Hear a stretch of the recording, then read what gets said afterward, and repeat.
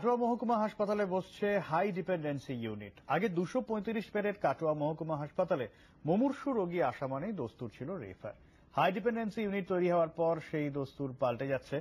এছাড়াও নতুন dialysis unit বসছে হাসপাতালে।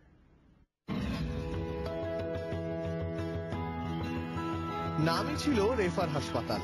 মুমূর্ষু রোগী এলে তাকে রেফার করাই ছিল হাসপাতালের দস্তুর। তবে সেই নিয়ম বদলে যাচ্ছে।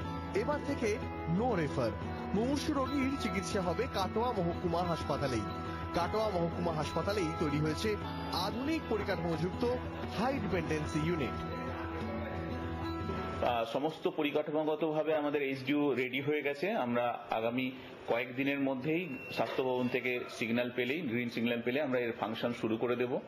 আমাদের ডাক্তারবাবু এবং সিস্টাররা ট্রেন, সিস্টাররা থাকা সত্ত্বেও পরিকাঠামোটা তৈরি না হওয়ার জন্য আমরা এটাকে চালু করতে পারছিলাম না। তবে আমরা এটা চালু করে দিলে বেশ কিছু পেশেন্টকে আমাদের আর রেফার করতে হবে না যে পেশেন্টগুলোকে এখানেই চিকিৎসা করা সম্ভব হবে। দুশো পঁয়ত্রিশ বেডের কাটোয়া মহকুমা হাসপাতালের উপর নির্ভরশীল মুর্শিদাবাদ, নদিয়া, বীরভূম সহ পূর্ব বর্ধমানের বিস্তীর্ণ এলাকার কয়েক হাজার মানুষ। অর্থাৎ রোগীর চাপ কম নয়। কিন্তু মুমূর্ষু রোগী এলেই রেফার শিশু চিকিৎসার জন্য আগেই এসএনসিইউ চালু হয়েছে।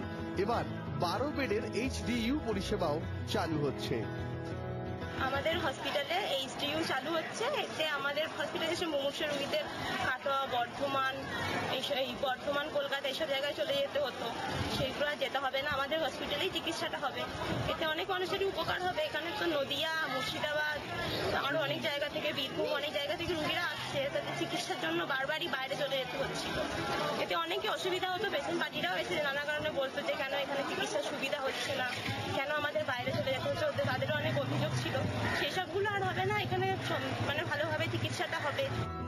আগামী কয়েক মাসের মধ্যেই চালু হচ্ছে ডায়ালিসিস ইউনিটও। অর্থাৎ মহকুমা হাসপাতালেই মিলবে জেলা স্তরের হাসপাতালের পরিষেবা।